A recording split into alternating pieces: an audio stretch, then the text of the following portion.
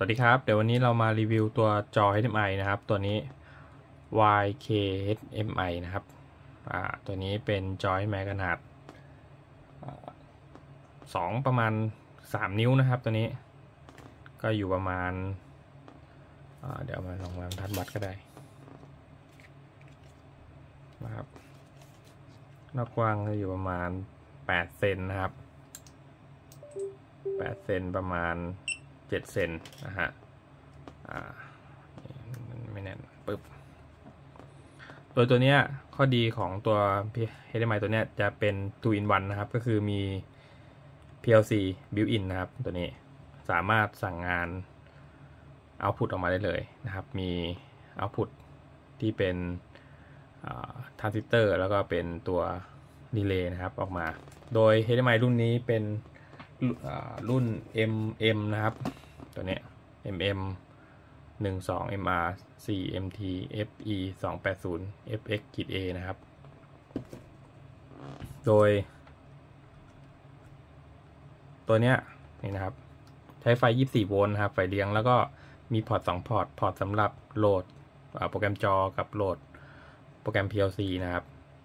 เดี๋ยวคลิปต่อไปก็จะสอนอตัว การโหลดโปรแกรมจอ หรือการโหลดโปรแกรม PLC นะครับ ตัวนี้ก็จะใช้ตัวโปรแกรม GX Work Tool นะครับในการพัฒนาโปรแกรม แล้วก็ส่วนจอเนี่ยก็จะใช้โปรแกรมตัว YK Builder นะครับตัวนี้นี่นะครับ อันนี้ก็จะเป็นฝั่ง Output อันนี้ก็จะเป็นฝั่ง Input นะครับใช้ไฟ 24 โวลต์ ก็จะมีปุ่ม Stop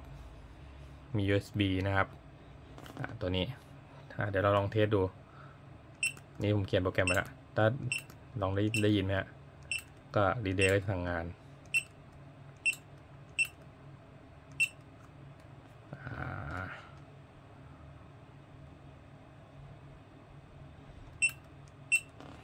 ก็ประมาณนี้สำหรับ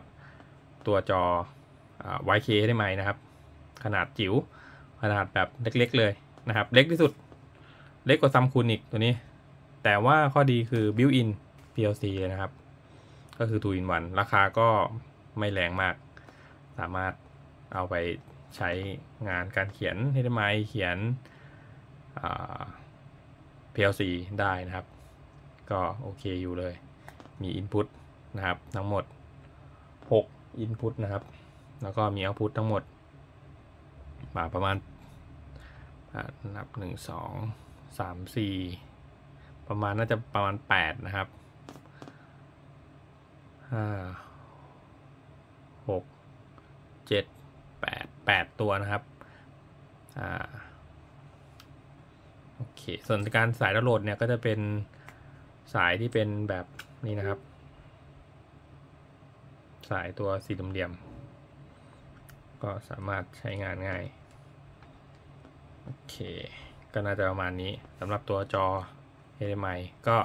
เดี๋ยวคลิปหน้าๆ EP ต่อไปเดี๋ยวเรามาสอนการดาวน์โหลด ในส่วนของจอแล้วก็ดาวน์โหลดในส่วนของโปรแกรมกันนะครับ โอเคครับสำหรับวันนี้ขอบคุณที่ติดตามรับชมครับผม ฝากกดไลค์กดแชร์ ฝากติดตามด้วยนะครับสวัสดีสวัสดีครับ